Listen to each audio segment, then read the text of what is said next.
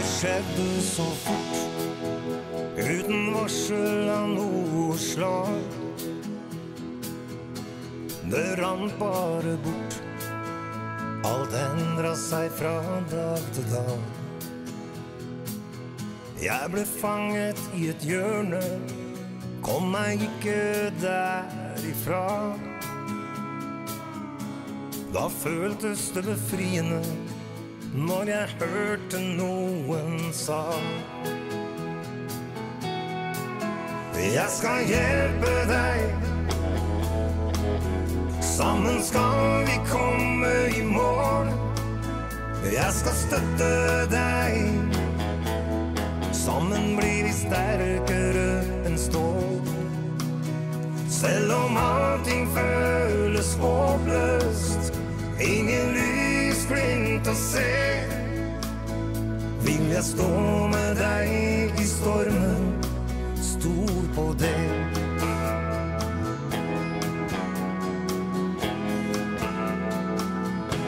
Bekymringens vei kan være lang og tung å gå. Sånn ble det i hvert fall for meg. Fant ingenting å håpe på.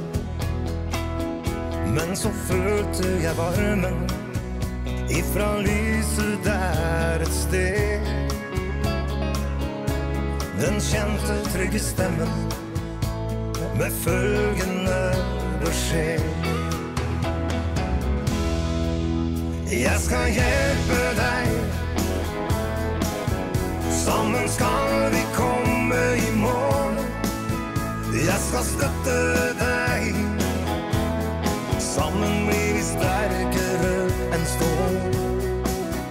Selv om